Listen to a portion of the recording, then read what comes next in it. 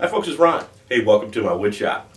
Hey, uh, this video is actually for my Aunt Dorothy and my Uncle Walt. And uh, you guys, one of your children gave me a call not too awful long ago, and uh, Connie knew I actually had made some birdhouses in the past for friends, and so she called me up and wanted to know if I would make one that looks like your guys' farmhouse. So that's what I'm going to attempt to do, and I'm not sure what this is going to look like when I get done with it, but hopefully look something like your, your farmhouse. And I've got some poplar here I'm going to make out of. Uh, I got some um, um, pressure plywood I'm going to use for the base over there.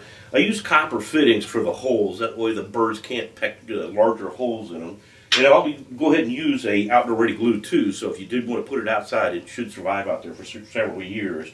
And I'll clear coat it all with a marine grade finish when I get done with it. So again, if you set it outside, should last quite a time. And by the way, I think this is like the 18th or 19th birdhouse I've made for folks. The top of them, what I typically do is I will take a piece of sheet metal like this and I'm going to uh, spray it with salt water and set it outside so it kind of patinas. And then once it gets to the right color, I'll go ahead and uh, clear coat it inside and out uh, with that marine grade finish as well. And uh, hopefully if you put that outside, it should last you actually quite a long time. And uh, you know, it's a cold day in Kansas. I think it's about February 7th or 8th. It's a Saturday afternoon. So I thought, hey, this is a good day to actually get this thing uh, kicked off and going. So I'll take some pictures and video of what I do through the process, and uh, hopefully you can follow along on, on uh, me actually creating this thing for you. So uh, let's get started. As you can see, I got some help in the shop this morning. Say hi, everyone. Hi. We're here back again. Yes. So we're gonna We're going to see how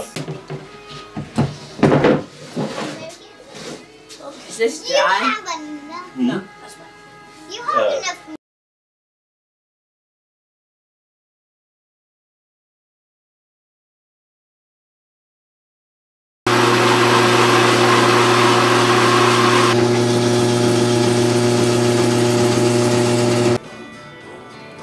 I like to put these little copper rings.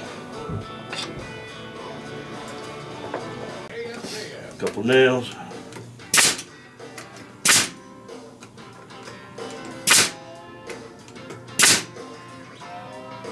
And there you go. One half the birdhouse right there.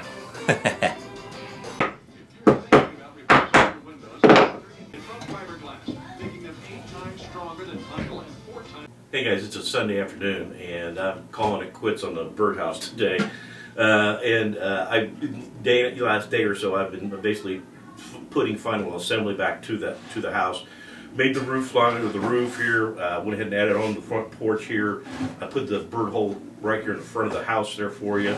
But I think it's beginning to look something like your home. It's not an exact replica, but. Uh, uh, uh, and there's a couple things I don't like about it, which I won't tell you what those things are. But uh, anyway, uh, and I added this back porch here. I actually today too. So the next step is to take the metal back off, uh, spray it with salt water so it patinas up real nice, and then uh, clear coat it, and then obviously sand and paint and fill all the little holes uh, that are left over from it. So it's been fun so far, and uh, I hope you really enjoy it. So the first thing is Shelley is getting ready to come on to replace Costello on the floor with three fouls. Here's the back screen, nice look, wow, excellent pass. Wow, Stauskas, he's got great vision. Well, hey guys, it's uh, Saturday morning here on uh, good old Kansas. We're going to get a bunch of snow today, and I thought I would try to start actually paint um, uh, the house white.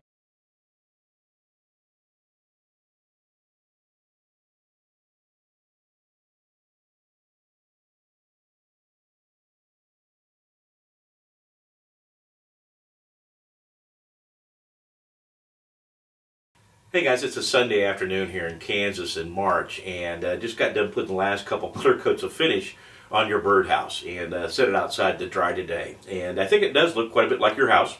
Uh, hopefully you'll feel that way as well, and uh, hopefully you'll get a lot of years out of it. Whether you put it outside, that marine coat finish should actually survive out there quite a while. And if you do put it inside, it has has, has some uh, feet on it, some rubber feet, so you can set it on the countertop if you'd like.